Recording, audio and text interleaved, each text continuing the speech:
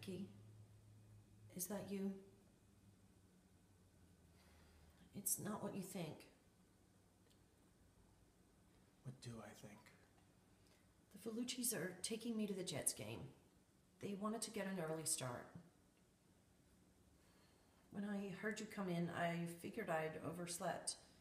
It's not like you've been here any morning in the last 10 months. So you're you're not sleeping with him, I'd never do that to you, Kenny. and you're not in love with him. No. Believe it or not, I'm still in love with you. But I can't be married to you anymore. I'll call and tell Frank the game's a no go. You have every right to be upset about the baby thing. It was terribly wrong. It was just in the heat of the moment, and I just plain choked. But you gotta give me another chance. How can you say you're still in love with me? Because if you, were right. It is a good thing I wasn't married to Gandhi or Mozart.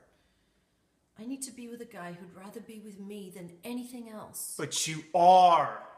Sure, as long as there's no egret or owl or pelican. This year, I promise, this is your, and, and this is it. That's what you've said every year, and it's never been true. Kenny, I know you. I know right now you're in pain, wondering how you can get out of here in time for your flight to Phoenix without looking like a total jerk. No, no, I'm, I'm in pain because I love you. I do. You're all that matters to me. Enough not to go to Arizona.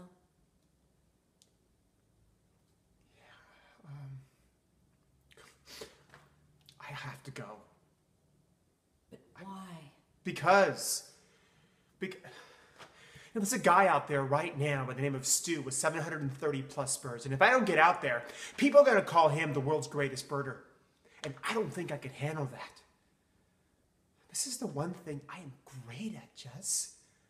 My one shot at immortality. No one remembers the guy that comes in second.